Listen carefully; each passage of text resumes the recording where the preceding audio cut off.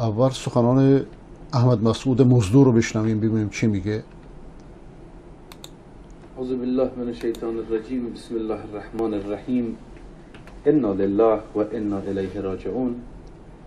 نصیحت گوش نکردید. روز اول بنده برات کلیپ فرستادم. نصیحتت کردم در ملای عام در تلویزیون که با دولت اسلامی نجنگ اسلحه بر ندار خوبه که الان اینجوری رسوا شدید و در به در شدید.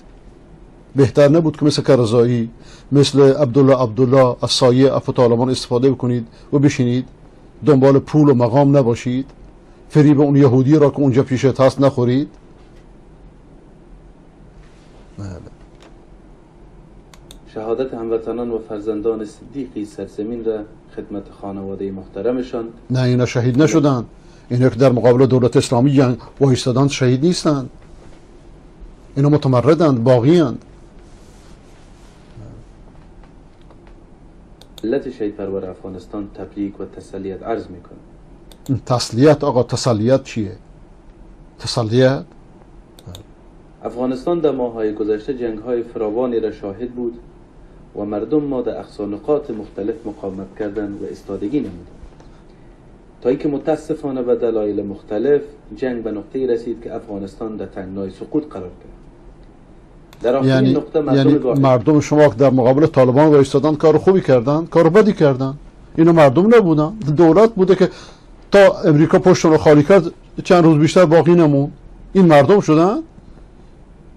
اگر مردم با شما بودند که اه، پنجشیر سقوط نمی کرد اگر مردم با شما بودند که غنی فرار نمی کرد اگر مردم با شما می بودند که 350 هزار نفر ارتشی که امریکا 20 سال براش مصرف کرده مثل نمک آب نمی شدند که مردم با طالبان هن. عزت ما از بدخشان تا تخار از کاپیسا تا اندراب مقامت های خود ادامه دادند تا بالاخره مقاومت به جغرافی های اندراب و پنجشیر رسید. این مقاومت نیست. در مقابل مسلمان مقاومت کردن این بغاوته. مزدور شدن امریکا در زیر سایه دشمنان اسلام در زیر سایه اشغالگران ایستادن و بر علیه مسلمانان و مجاهدان جنگیدن این بغاوته. جبهه مقاومت ملی به خاطر دفاع از عزت، سلامت، استقلال، آزادی و عدالت مبارزه خود به خاطر دفاع از ارزش ها شروع کرد. این جبهه مقاومت نیست جبهه مزدوریه.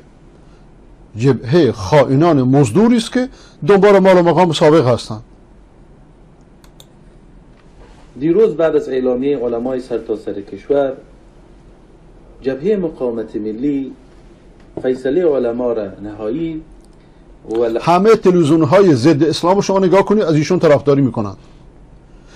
انسان از دوستان و دشمنان شناخته میشه. لا تقول لی من انت قل لی من ترافق اقول لك من انت. به من نگو که تو که هستی. بگو که با که همراهی من میگم که اون موقع تو که هستی. هرچی اسلام ستیز تو دنیا از این آقا دفاع می‌کنه.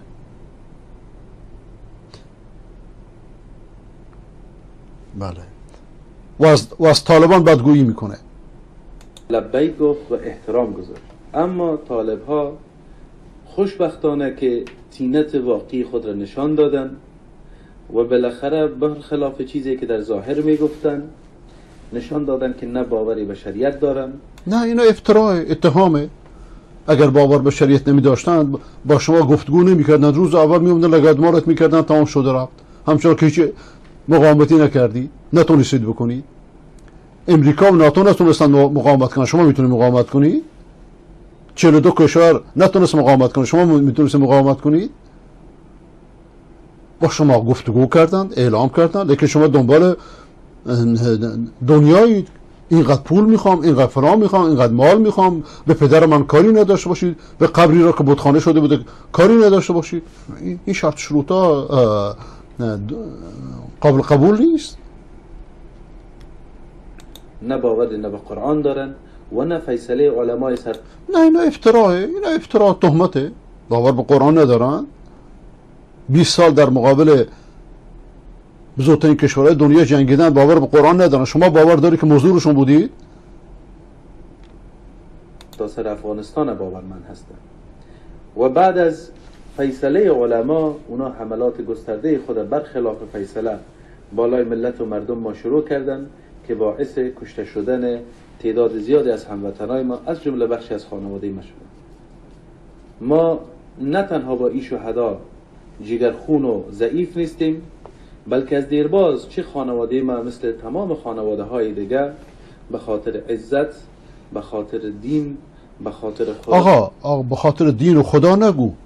به خاطر دین و خدا اولا اونا از شما عالمترن. تو فارغ شده مدارس انگلیس هستید. اونا مدارس دینی درس خوندن. این یک. ثانیا ن- اگه به خاطر خدا و دین میگی چرا حکمیت دین رو قبول نمی‌کنید؟ و به خاطر افغانستان مبارزه کردیم و شهید دادیم.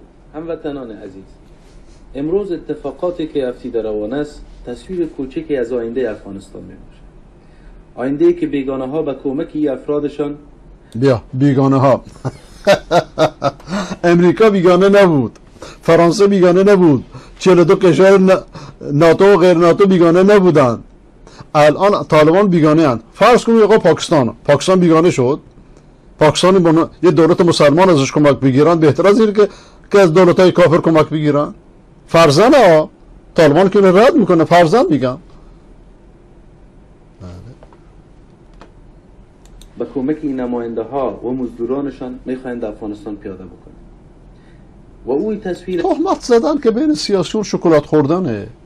نیست که افغانستان یک افغانستان عقب مونده باشه تاریک و دور از هر گونه فرهنگ و هنر اتحاد و اتفاق و فرهنگ و هنر رقص و دانس کازینو نمی‌دونم دیگه چی؟ همچنین افغانستانی که در یک انزوای سیاسی اقتصادی توسط